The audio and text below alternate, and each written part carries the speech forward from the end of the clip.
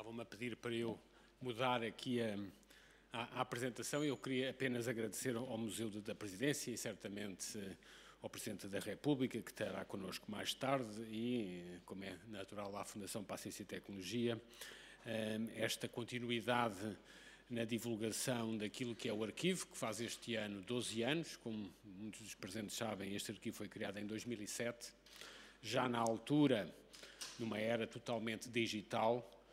com o objetivo de preservar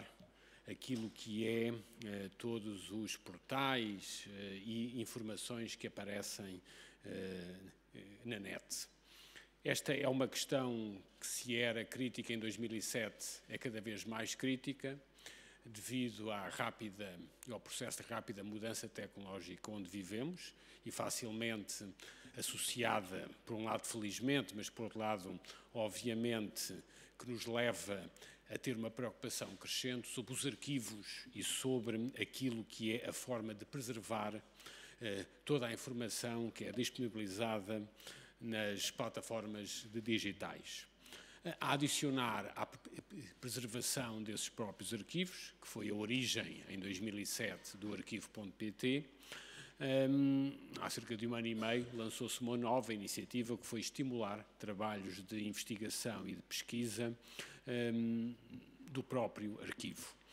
E este ano abrimos hoje aqui o segundo prémio eh,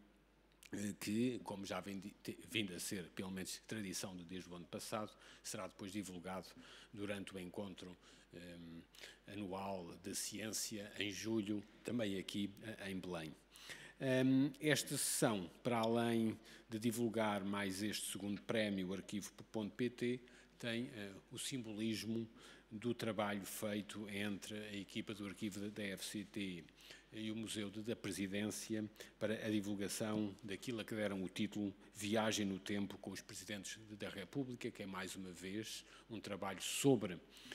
um, o arquivo ou sobre a informação ou parte da informação que estava e que está disponível no arquivo sobre aquilo que é a ação política dos Presidentes da República. E, portanto, por tudo isto, na era digital, de construir cada vez mais um futuro em contínua mudança, mas de uma forma que esse futuro seja feito pensando o passado e preservando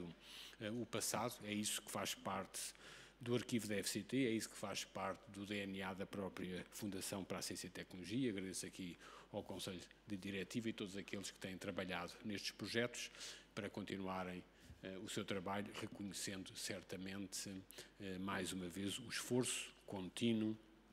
em que a Fundação para a Ciência e Tecnologia trabalha ao serviço do, dos portugueses, do, da, da, ciência que se faz em Portugal, sempre cada vez mais em contínua interação com todo o mundo, com as comunidades científicas, certamente na Europa, mas também em todo o mundo, e cada vez mais este desafio de preservar